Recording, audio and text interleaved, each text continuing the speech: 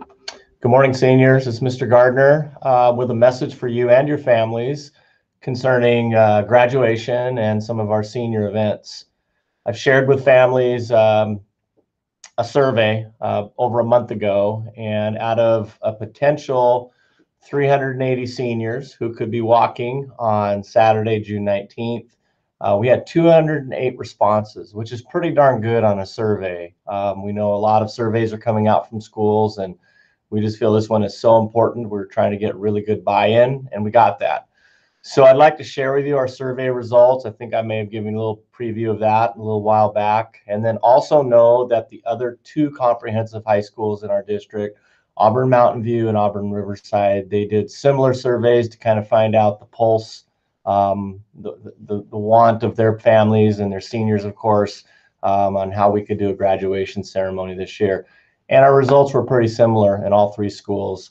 So let me take you through the survey real quick on our 208 uh, responses. So the very first question we asked is your email address. Um, of course, we're not going to put that up here. Uh, and this is uh, for quarter two or quarter four. We asked how many of our seniors are remaining online, how many uh, are, are doing full-time running start, and then how many have returned back to the building. And out of 208 uh, families, out of the 380 uh, senior students, um, that pretty much is us right there. We have about 47% of our kids back in the building and the rest of them are remaining online. And as you can see, that's divided between full-time Auburn High School students and then also our running start students. So uh, we felt that was a really nice uh, representation and kind of helped us move forward. The next question we asked is if we cannot hold a full graduation, is your family interested in attending an in-person modified graduation with limited seating? Before COVID, we were able to distribute six tickets to our seniors, and all seniors had an opportunity to, to get a few more. I think kids could get up to nine or 10. And then, of course, kids could, if they had smaller families attending, they could give tickets uh, to their friends that had larger families. So we had a little bit more flexibility before COVID. In person modified would have meant that we would only have two people per seat. And that's based on the guidance we were getting from King County and the health department, how many pe people could be in the stadium um, with all of our graduates. And of course, the graduates would have to be placed six by six feet apart from each other. So that was about three quarters of you felt like that was a viable way to go about it. And that, that felt pretty good. Like if we were able to do that, um, yeah, we're only going to have a third or maybe even a quarter or even less of the people who could come and celebrate with their seniors. But we felt like if we could do that, um, most people are going to be pretty happy about that, or at least understanding why we're doing it that way. Um, the next uh, model that we had you vote on is if we cannot hold a full graduation, which we can't, is your family interested in attending smaller graduation, a smaller graduation in our stadium with only about half of the class. So that'd be about 190 of the seniors, um, which means we could have opened up maybe four tickets per family. Okay. And, and that seemed to garner the most popularity. Okay. Almost uh, just over 83% felt like that was viable. I'm hoping that some of the folks that were red on the last one moved over to the blue. Um, we just know we can't do what we normally do. Okay, so just please understand that. Um, normal meaning before the class of 2020. Okay, so 2019 and before would have been considered, I guess, kind of the way we've always done things here. Um, the, fit, the, the next option is if we couldn't hold a full graduation, is your family interested in a drive-through with their family vehicle and this type of an event with your senior participating in a grad walk through Auburn High School. Kids would walk through, they were dropped off on the north side of the school. They'd walk through the building. We had all kinds of fun in there last year. The kids thought it was fantastic because we couldn't do anything um, in a public setting.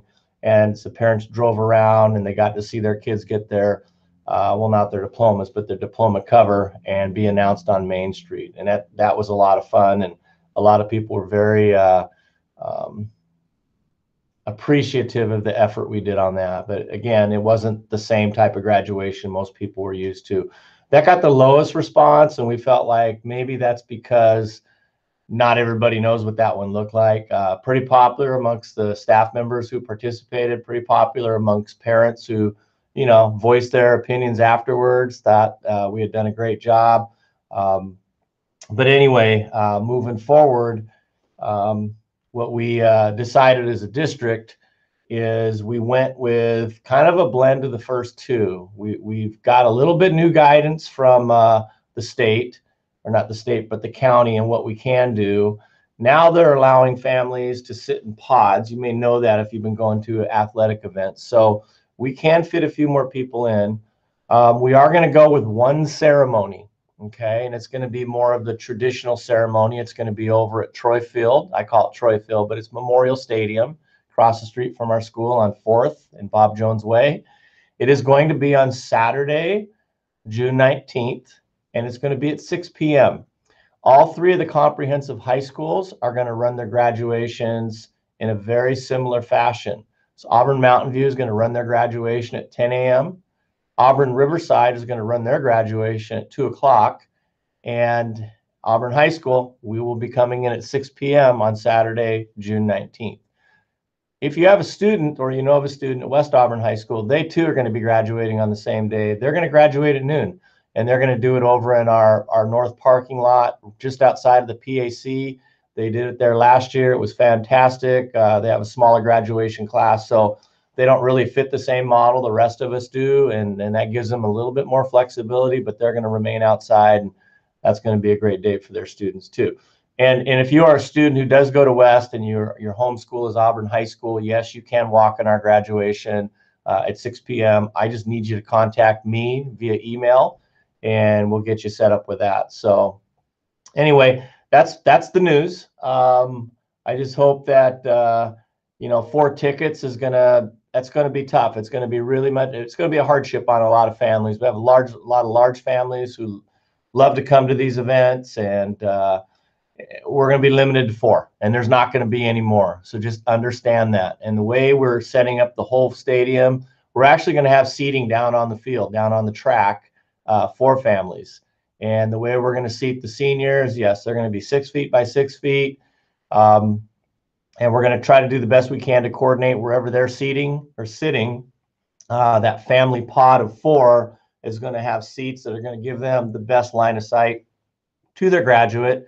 Maybe not exactly where they're sitting, but as they're coming off the stage, getting their diploma and holding it up in the air and and you guys want to take those pictures, um, we're going to do the best we can to make sure that happens. So again, limited seating, four tickets per family, and don't expect those to roll out until June, okay? Because we still have to order the tickets now that we know how many. Uh, will there be um, very special event tickets, something you'll be able to keep as a keepsake. Okay, rolling on to the next piece, uh, we asked uh, families and seniors, okay, we know we can't do the senior prom, okay? Argosy Cruise said they're shutting down until July.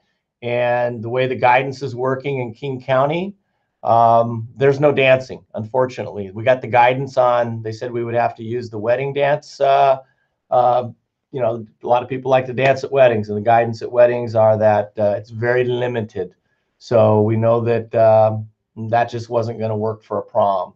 And our student leaders and our uh, student leader advisors, they've been working hard on a kind of a prom alternative, uh, a tailgate to prom, if you will. So we're asking families to set up your own prom, okay, whatever that might mean in your backyard, in your garage. Um, if you've got a family that's got a little bit more resources in terms of space, um, dinners on all of you, of course. Uh, the prom activities in terms of the dancing piece, that's all on families. But we're going to do something special here at the school that, so that students can show up dressed up uh, with their prom date. Um, we're going to do some picture taking and uh, some giveaways, get some um, other things going on. I don't want to get too far ahead of myself because they're working on that right now. And as far as the date and all those things. So we think it's going to be a great event. It's going to be quick. We're going to be doing it in shifts because uh, we can't have a lot of people here at the same time. But I think it's still going to be fun. I, th- I still think it's going to be memorable and, and you might probably be the only class that ever does something like this. So that's, I don't want to say it's cool, but at least it's unique. Um, the other piece that we asked about was senior awards night. Okay, we know we can't all come underneath one roof all together. That's just not going to work with as many seniors uh, receiving accolation or accolades and uh, scholarships and you know just acknowledgement on doing a great job in their families. So we talked about an outdoor event. But of course, we can't always count on the weather. And because this is such a, a formalized event. Um, we just didn't want to take the chance. So we looked at what families said. If we can't hold a traditional senior awards event in our Commons or PAC, um, which our Commons holds about 800 people in a typical world, PAC even more. Um, we're going to go virtual. We're going to do a slideshow. We're going to have some video in it. And uh, that wasn't the highest, as you see. That came out to 42% of the people thought that was okay. The highest response we got was just naming names and photos of seniors on our website. I think we can do that too. So we'll take the lines on the first two, and those we'll strive to do. We'll get that out to you probably first week, second week of June. Uh, more information coming on that. And then for those families who just weren't um, interested, that's okay. Um, you don't have to participate in these things. We'll send this out via email. It'll be on our website. But we just want to make sure the whole world knows about how special our seniors are. And for those who've, um, you know, done some really cool things in, ter- in, terms of reaching some goals, earning scholarships. So that's the latest from Auburn High School. Um, of course, if you have questions, please email me. Um, I'm kind of the person on point here. And uh, I know Dr. Spicciati, he had sent out a, a, bigger email to all families, all senior families in the district last week. I just wanted to make sure we followed up. I gave you as much information as I could. Um, I'm also going to be posting a second video today or tomorrow, mainly talking to the seniors because, like I said, potentially we have 380 seniors who can graduate on on that Saturday. And I want to do everything I can in my power as a principal to make sure we have 380 graduates that day.